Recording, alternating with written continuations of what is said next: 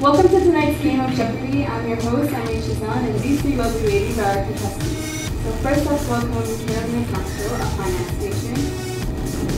Robin Zinn, an aspiring actress. Melina Carne, a talented art student. So let's go into the first round, and let's wish good luck to all three contestants. The categories that we take today are successful leaders in their respective fields. So we'll be playing Cristiano Ronaldo, Richard Yu, Napoleon Bonaparte, and Jeff Bezos.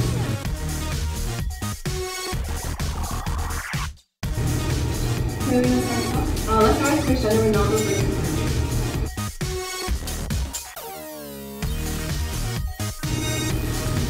What defines Ronaldo's leadership style?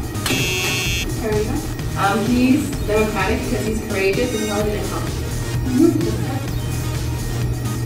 let's go for Cristiano Ronaldo 300, please.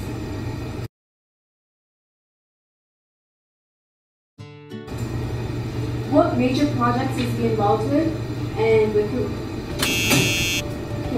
Hotel Pestana CR7, so he opened the hotel with his own intentions, and he's also the captain of the Portugal soccer team, which he manages the place as well as his teammates. Correct. Uh, Cristiano Ronaldo for 400,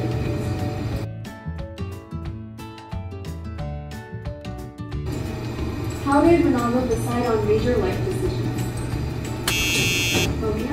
He stays away from negative media for things like fraud. He opened a five-star hotel in Francia, and he based his decisions on true values. Mm-hmm. Correct. And Napoleon Bonaparte for 200, please.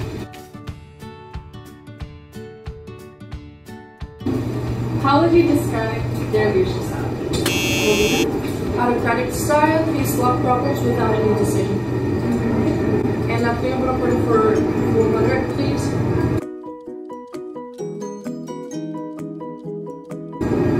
What major decisions did Napoleon to contribute? Ice cream? Um, no. Melina? Battle strategies to use when in war and the invasion of countries. Yeah. Cristiano Ronaldo for 500, please.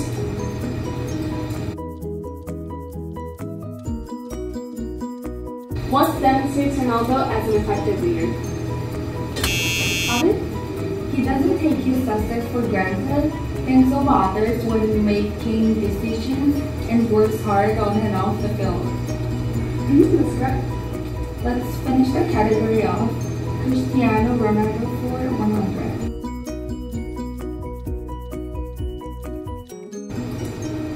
What is Cristiano Ronaldo's history and who is his biggest influence? At age 10, he started playing soccer, then went on to represent Portugal um, at UEFA Championships. Under 17, he received a spot on the Real Madrid team and was the highest paid at the same time. His influences are Figo and Rui Costa and Cristiano Ronaldo himself. We get Napoleon Bonaparte for 300, please?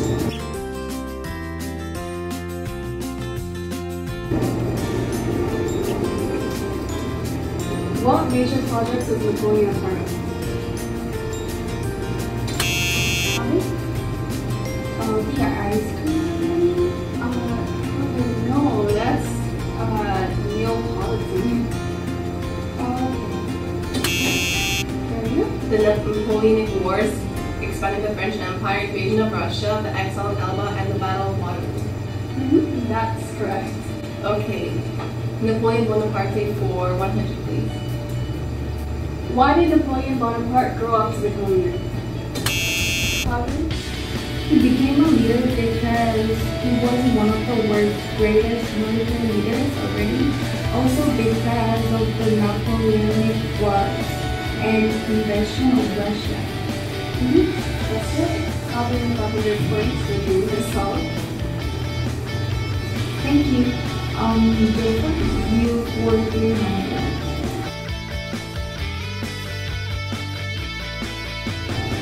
What does he manage and what project is he in? Melina? Um, he has his own show, Live and Enjoy Together, and he manages his, um, his guests who appear on the show plus the audience. Mm-hmm, that's correct. Um, Napoleon Bonaparte for 500, please.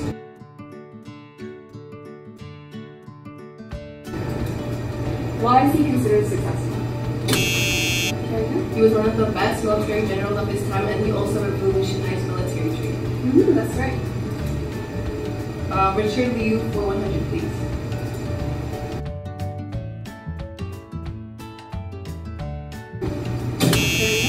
Established Jingdong Century Trading and relied on e-business for business plans. He is now worth $8 billion, which makes him in the top 100 richest Chinese individuals. So some important influences in his life are his own employees. Mm-hmm. That's it. Let's go with Richard Liu for 300, please. 200, actually.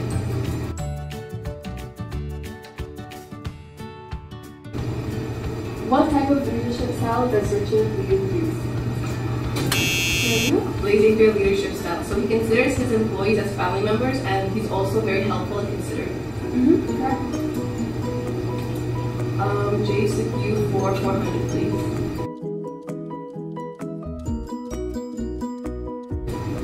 What did he base certain decisions on? Tinsel Chat led him to his decision of starting his own show, which earned him the fame he was now. Therefore, he bases decisions on recommendations of others. You. Jason Yu for 100.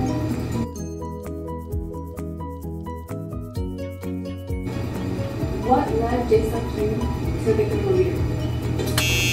He won uh, third place in the comic competition at university and KBS. And then in 2002, he hosted a program Live and Enjoy Together, which became a hit and led to his fame and leadership in the comedian industry. Mm-hmm, correct. And here we go for Jason Yu for 200, please.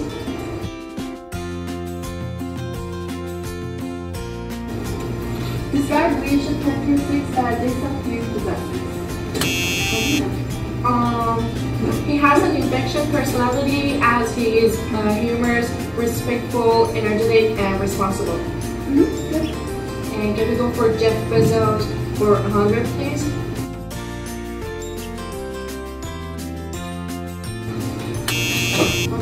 He received the Bachelor of Art Science from Princeton University. Then he worked at D.E. Shaw as vice president. However, he quit his job to start up a commerce co- uh, company um, called Amazon. His biggest influences would be the book The Remain of the Days by Kazuo Ishiguro, Sam Walton, Made in America by Sam Walton again, and his grandfather as well.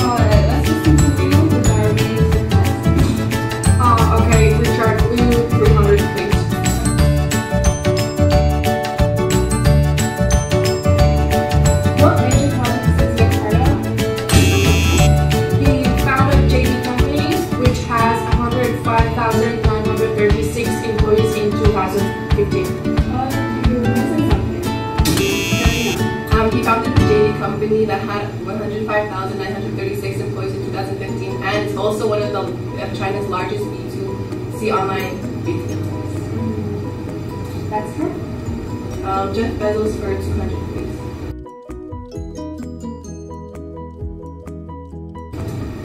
What leadership traits would best describe on. Bezos values innovation and great minds as uh, dominate, dominates from who he is as a person, and he prefers to work in small, assert, assertive groups, aka two pizza rule. Mm-hmm. Um, can we go for Jason Q for 500, please?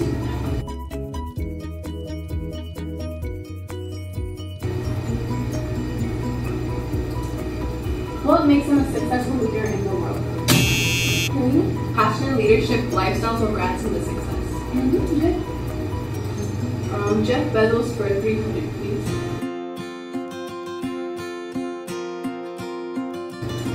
What major projects is he involved in? Selena? Um, he created and managed, uh, manages Amazon, purchased the Washington Post, and he founded um, Aerospace Manufacturing and I'm so Scotland. sorry. I'm so sorry. I can't see it. Well, you're welcome to sit with us, but you're disqualified. Okay, so should I just start over? Yeah. Okay.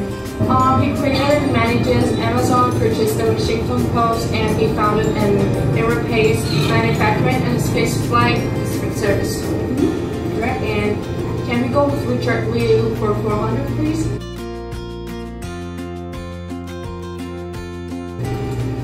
What major decisions did he have to make and how did he make them?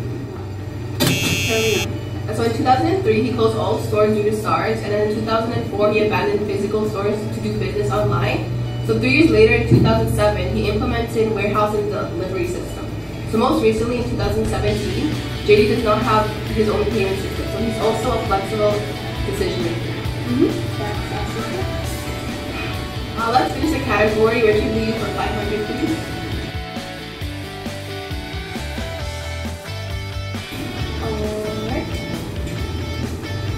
What defines him as successful? So he uses Fiedler's contingency theory efficiently. He worked to build his own reputation despite his downfalls he experienced in the past. And he always looks at different views and perspectives of situations, as well as possesses passion and integrity traits. Um, Jeff Bezos for 400 please.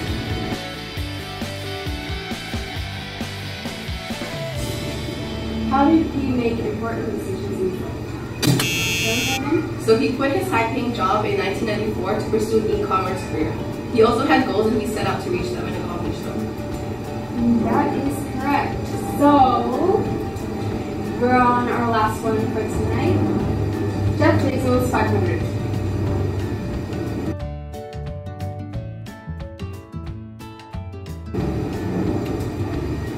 What defines him as a successful leader?